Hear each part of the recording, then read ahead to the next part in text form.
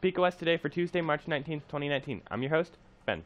Today's lunch menu includes Crispitos with cheese sauce, boneless buffalo chicken bites with roll, or, or spicy chicken strips with onion rings.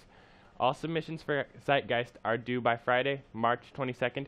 You can bring your work to Mr. Newberry's room, C304. Hadley Overstreet will be signing with Midland University Thursday, March 21st at 4:15. Congratulations to Eli Perez, whose print Back Alley has been bestowed a silver medal award in the National Scholastic Art and Writing Arts. Westside Bank will be the only location where you may purchase prom and post-prom tickets. Prom tickets are $20 and post-prom tickets are $7. Tickets may not be purchased by or for freshmen. You do not need to attend prom in order to attend post-prom. You may purchase tickets this week today, today during seminar, tomorrow during seminar at or after school, Thursday during seminar, and Friday during seminar and after school.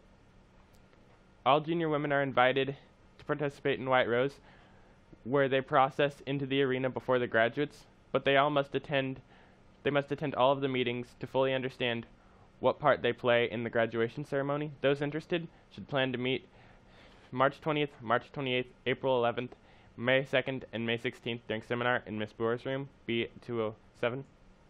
Interested in joining Topeka West Charger Guard? We are starting practice for interested members today. Any questions? Contact Akoya Peters at apeters617 at tps501.org or any Topeka West Charge Guard member. Looking at activities this week, Tuesday, girls soccer, junior varsity and varsity plays at Homer against Hayden at 4:30 p.m. There's also a bowling banquet in the cafeteria at 5:30.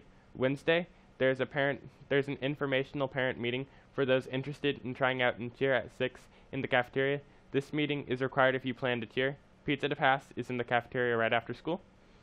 Thursday, Allen County Community College visits during Charger time, varsity girls soccer versus Highland Park.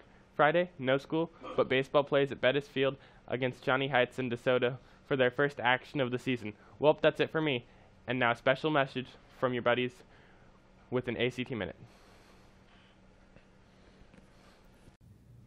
My name is Eric Rethman, an assistant in Mr. Schnacker's ACT prep class. Today's video lesson is on ACT mathematics concerning pre-algebra and the distribution property as well as the order of operations. The order of operations are as follows. The acronym is PEMDAS, which stands for parentheses, exponents, multiplication, division, and adding and subtracting. For this problem, the first step would be use parentheses and uh, the distribution property because parentheses come first in the order of operations. So you'd multiply the negative 4 out to the 6 um, and also the negative 2. So you distribute the 4 to each one in the, inside of the parentheses. And that'll leave you with negative 4x and positive 8 because the two negatives cancel each other out. And since there's already a negative 8 at the end of the problem, the two 8's cancel each other out, um, leaving x equals 0 because uh, the x's um, only have 0 to be uh, equal to because the uh, the constant is there is no other constant other than 0. So the answer would be b or 0.